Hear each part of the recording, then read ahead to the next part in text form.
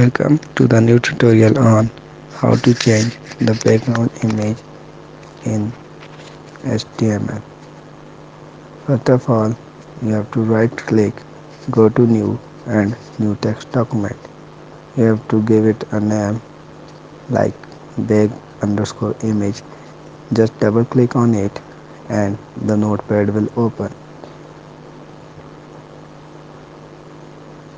In Notepad, you have to create some tags. The first tag we'll create is the HTML.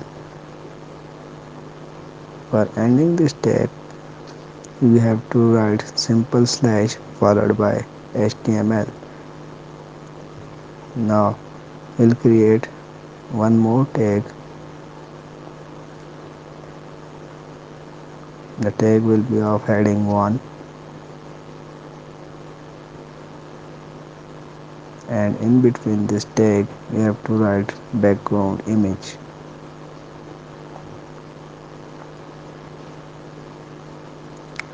Now we have to write body space background equals to double quotes.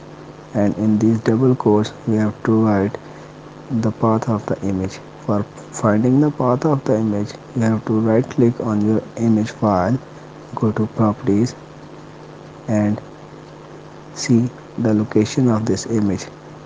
Just copy this location.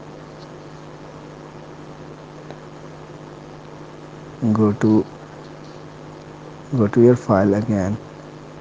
Paste your image image location here followed by image name with extension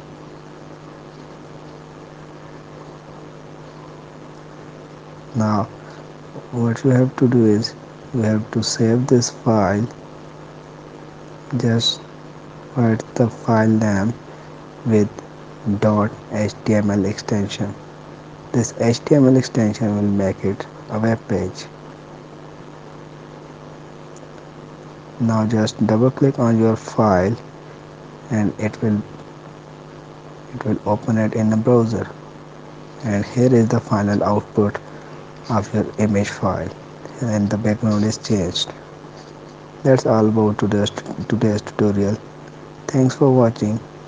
Keep watching Nelson Darwin Pak Tech do not forget to comment like and subscribe to our channel Nelson Darwin Pak Tech and click on the bell icon so that you can get our updates regularly. Thank you